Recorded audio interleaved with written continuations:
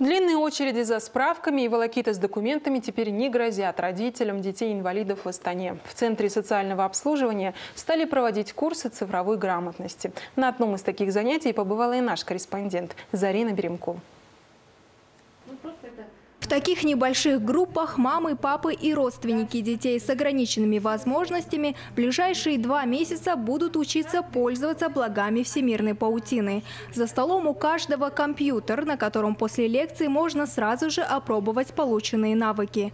Продолжительность занятий в среднем два часа. Специалисты показывают, как воспользоваться услугами электронного правительства, а в качестве бонуса даже возможность дополнительного заработка.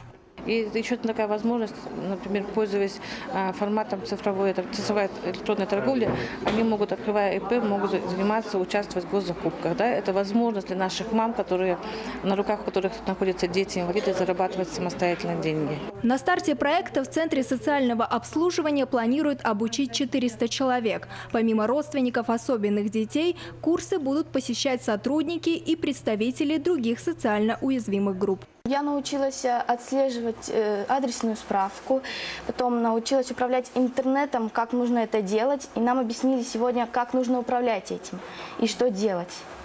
Ну, мне очень понравилось, как это делать, я буду учиться. При этом обучение не ограничится двумя месяцами. Кабинет для занятий будет работать на постоянной основе. В будущем посещать его смогут все получатели услуг центра. Зарина Беремкул, Нуркен Токмурзин, Информбюро, Астана.